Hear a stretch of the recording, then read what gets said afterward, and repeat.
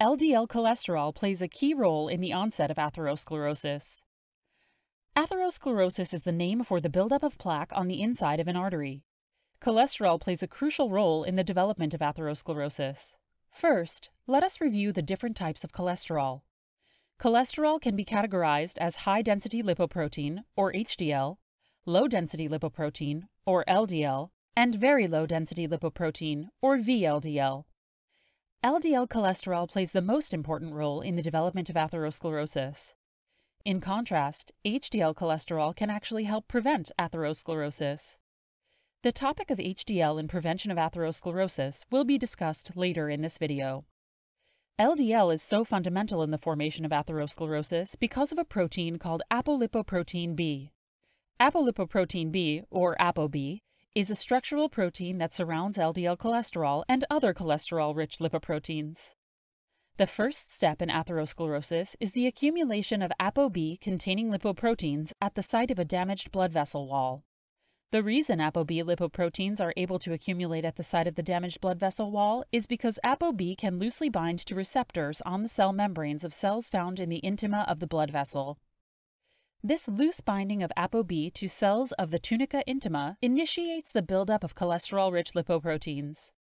After accumulating in the intima, LDL cholesterol is exposed to free radicals, such as reactive oxygen species, and the LDL becomes oxidized, abbreviated OXLDL. It is OXLDL that is taken up by cells and leads to the development of an atherosclerotic lesion. While it is OXLDL that forms the atherosclerotic lesion, the lesion never would have formed without LDL being present in the intima to become oxidized. Number 2. Inflammation is a main contributor to atherosclerosis. The site where the plaque is accumulating is known as the lesion. Inflammation induces the formation and growth of the atherosclerotic lesion.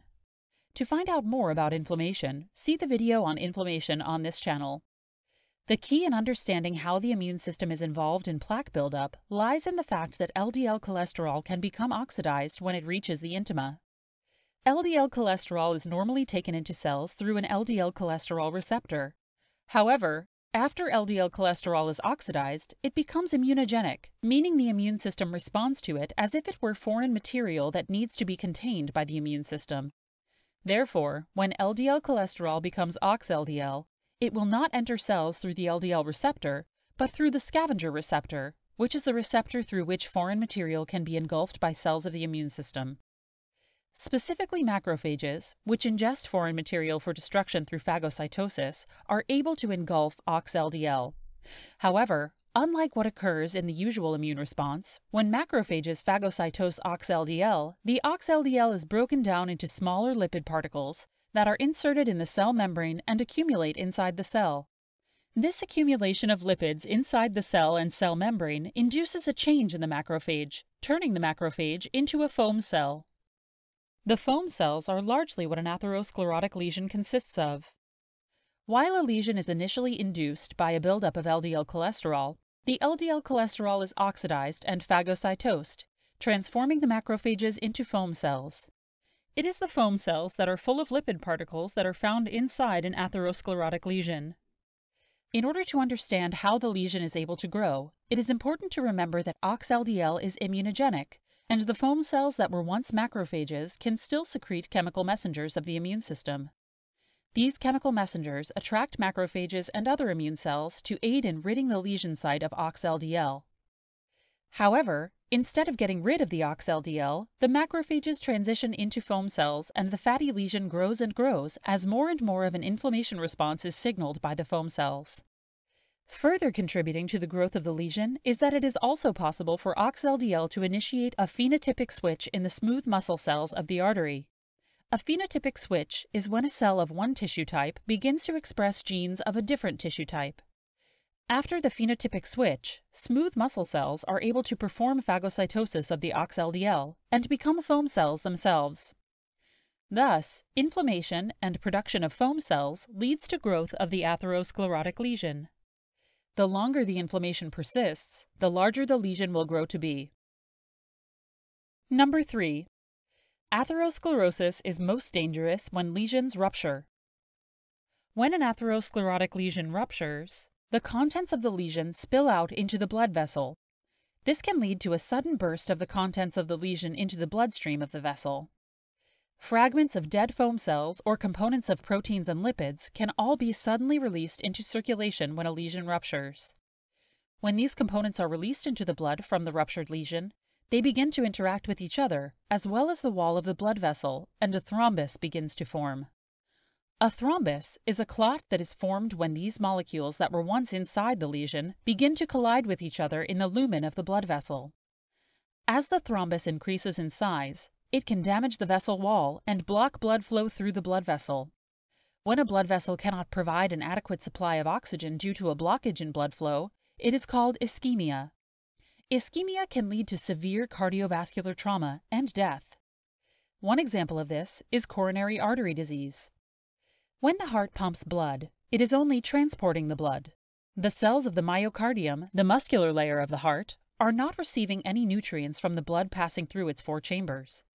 Rather, the blood must be pumped through the arteries of the heart, known as coronary arteries. It is the coronary arteries that deliver the blood that cells of the heart rely on to live. When an atherosclerotic lesion forms in the coronary arteries, the lesion reduces blood flow as it grows into the lumen of the blood vessel, when the lesion bursts, the resulting thrombus can entirely cut off blood flow through the coronary arteries. It is possible the cells of the heart do not receive enough blood to live due to the thrombus, and the cells of the heart begin to die, leading to myocardial infarction, also known as heart attack.